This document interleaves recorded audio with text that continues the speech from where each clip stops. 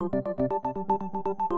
A California sixth grade teacher has been charged with animal cruelty after police found he was hoarding hundreds of mice, rats, and snakes in his house. 53 year old William Buchman is now in custody after investigators found more than 400 snakes inside, stacked floor to ceiling in cages. Officials also located about 50 rats and mice roaming Buchman's house. The Los Angeles Times reports Buchman was a snake breeder. Police raided his home after receiving reports over the past year from neighbors complaining of a foul smell. Stench is overwhelming. It's like, what's that smell? It smells like, it smells like something's dead dead. KABC reports the animals had not been cared for. Half the snakes were dead and the rodents became cannibals. According to investigators, Buchman started hoarding the animals after his mom passed away in 2011. It took investigators more than an hour to clear just one room of the house.